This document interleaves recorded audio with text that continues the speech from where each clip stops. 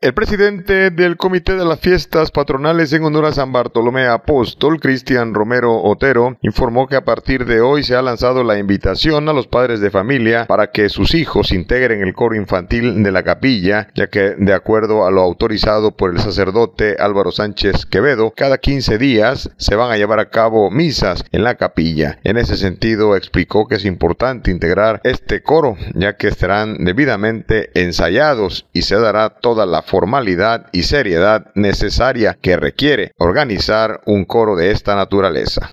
Este sí, hoy se lanzó la invitación a todos los niños interesados de entre 6 y 12 años para iniciar con el coro infantil nuevamente, retomarlo. Después de la pandemia pues estaba parado todo y nuevamente vamos a dar inicio. Eh, las misas son cada 15 días. Eh, nos está permitiendo el Padre cada 15 días tener las misas dominicales y pues se pretende que ya en la próxima misa ya se dé inicio con el coro.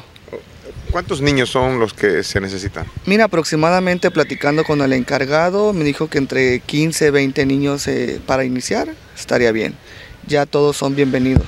entonces, ¿ahorita ya hay intención de participar de algunos? Sí, ya tenemos tres niños interesados y hago la invitación extensa a toda la ciudadanía que sus hijos, este, repito, de seis, entre 6 y 12 años, este, que guste participar, está el número de teléfono 742-116-5664. Eh, eh, ¿Quiénes van a ser los responsables de ensayarlos?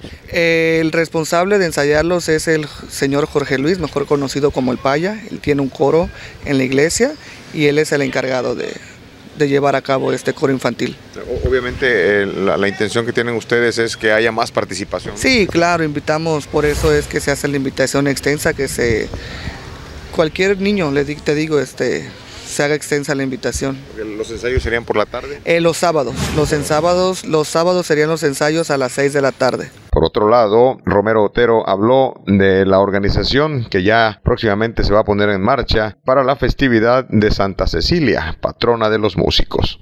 Sí, claro que sí. Este, en esta semana se prevé tener una cita con el presidente de la Asociación de Músicos, en el cual llevar a cabo el tema de Santa Cecilia, como lo mencioné antes, llevar a cabo el baile tradicional que se hacía anteriormente y llegar a un acuerdo.